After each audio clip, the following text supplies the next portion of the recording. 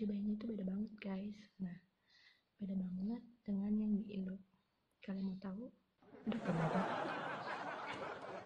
nah sebelum itu gue ingetin sekali lagi ya untuk kalian yang belum nonton channel gue silahkan nonton channel gue untuk kalian yang baru nonton channel gue jangan lupa subscribe di bawah like, comment, dan share ke semua media sosial yang kalian punya. Oke, kita mulai. Guys, tadi kan kalian udah lihat dong, gue akan ngomongin sesuatu tentang baju bayi. Baju bayinya itu benar-benar berbeda guys. Nih, ini baju bayi yang untuk di musim dingin. Nah, kalian bisa ngeliat. Ini gue buka dulu ya kancingnya ya. Maaf banget kalau misalkan suara gue kecil karena gue lagi sakit tenggorokan guys. Karena gue batuk, bilang sakit tenggorokan juga ini dia bajunya kalian bisa lihat tuh ini bahannya tebal guys tuh kalian bisa lihat tuh tebal di sini dalamnya ada busa. Busa bukan busa ya yang kayak buat bantal tau nggak? Nah kayak kabuk-kabuk nih gitu. Sebetulnya bukan bajunya yang aneh tapi celananya guys kalian bisa ngeliat. Kenapa gue bilang aneh?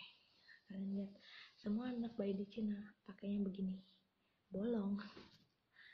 Bolong. Ntar kalau misalkan itu ntar gue kasih gambarnya kalian di sini ini kenapa gue bilang aneh? Karena lihat pantatnya. Kalau kita mah yang ini mah dijahit ya. Dijahit gini ya guys ya. Tuh. Jahit kan ya? Tuh. Jahit kalau dia mah sengaja dibolongin. Nah aneh kagak lu? Gue gue rasa mah aneh ya. Tuh. Aneh banget guys. Tuh lihat. Tuh dibolongin. Jadi anak kecil masuk. Masuk gini nih. Nah bolong kenapa gue bilang aneh? Ya bisa masuk kepala gue kan. Ah, aneh kan? Semua hampir anak di Cina itu nah makanya celana begini. Kalau nggak pakai namanya bukan orang sini. Aneh tuh.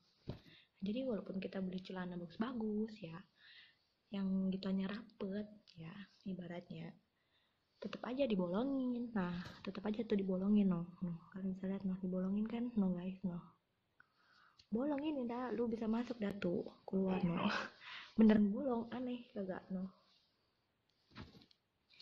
Karena semua anak di Cina itu pakai pakai ini. Bukan semuanya semua anak di Cina yang bayi yang balita yang mulai umur setahun ya tahun, sampai dengan setahun lah masih pakai beginian. Kenapa? Biar cebok um, kencingnya gampang. Orang sini kadang nggak mau pakai pampers jadi tuh pantat ke mana-mana anak kecilnya tuh jadi makanya ini sengaja dibolongin biar gampang. Kalau misalkan kencing apa berak tinggal dikangkangin deh tuh anaknya begini.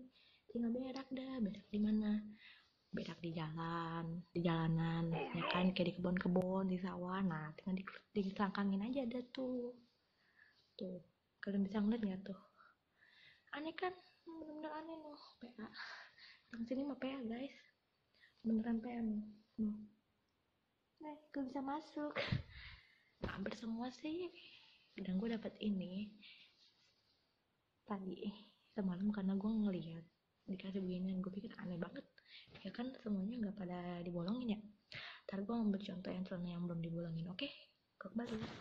Gue udah kembali. Nah ini celana yang gak dibolongin. Kalian bisa lihat ini pantatnya ya. Beda dengan celana yang ini. Tuh beda kali ya. Kalian bisa lihat dong ini yang benar-benar celana celana ini bener hampir sama kayak di Indo kan tapi tetap tebal. Tebal. Ini celana nggak bolong depan belakang guys. Tuh kalian bisa lihat kan? Nggak bolong dong. Hmm. beda banget sama yang ini. Yang ini yang udah bolong. Bukan karena rusak tapi emang model. Tuh. Bolong. Guys noh bisa lihat nggak bolong. Aneh kan beneran aneh. Beneran aneh guys. Tuh. Jadi makanya gue bilang kenapa orang sini tuh aneh? Kenapa orang sini tuh gila? Karena celana bagus-bagus yang kayak begini ya dibolongin di sini pantatnya. Jadi jadi nih guys ya kata lihat ya ini celana entar dibolongin ini di entar digunting terus yang ini tadi jahit jahit terus ini tadi jahit. Udah sampai ke depan bolongnya. Buat apa? Jadi itu burung ke mana-mana. Anak kecilnya kalau misalkan anak kecilnya cowok itu burungnya ke mana-mana. Kalau anak kecilnya cewek oh no! itu makanya jenis kelaminnya ke mana-mana. Tuh. Kenapa bisa begitu? Karena aneh. Tuh. Orang sini kebanyakan apa? Nggak mau pada pakai pampers. Karena apa? Mahal. Buang-buang duit pelit. Nah makanya dibikin celana begini. Jadi kalau misalkan mau kencing ya gampang. Tinggal diapain? Tinggal diselangkangin dah tuh anaknya. Tinggal dingangain dah tuh apanya kakinya. Udah dah kalau misalkan dia mau berak digangain turun tanya tlung tlung ke bawah. Gitu kalau misalkan mau kencing gampang. Tinggal ngewe dah di mana aja. Makanya tuh dibikin celana kayak begini modalnya aneh. Nah sebetulnya ini baju sama celana satu set no. Hampir semua sama. Ya baju musim dingin sama-sama begini say. Tuh makanya kan gue mau kasih tau ke kalian biar kalian tahu modalnya itu aneh nih kalau misalkan kalian nanti ke sini apa kalian nanti punya anak dari orang sini? Makanya itu. Jadi kalau misalkan kalian ke sini apa kalian udah menikah sama orang Cina? Ya jangan kaget kalau misalkan kalian ketemu yang kalau misalkan modal celana banyak kayak begini. Apa nanti kalian punya anak dengan orang sini kalian jangan kaget kalau kalian dikasih oleh mertua yang dikasih celana yang kayak gini. Kenapa? Ini udah baju mereka. Ya udah baju mereka udah baju buat anak-anaknya nanti. Udah begini baju bayinya. Tuh jangan kaget. Kenapa? Kalau dibawa ke Indo disangka orang sedeng. Masa celana dibagus-bagus? Dipotong. Digunting. Ya kan nah jadi sekian dulu untuk gua kali ini cerita-cerita kali ini tentang pengalaman gua pengalaman tentang gua bagi tahu info-info tentang ini baju yang aneh untuk bayi nah oke okay, sebelum itu gue ingetin sekali lagi untuk kalian ya untuk like subscribe channel gue di bawah komen dan share ke semua media sosial yang kalian punya.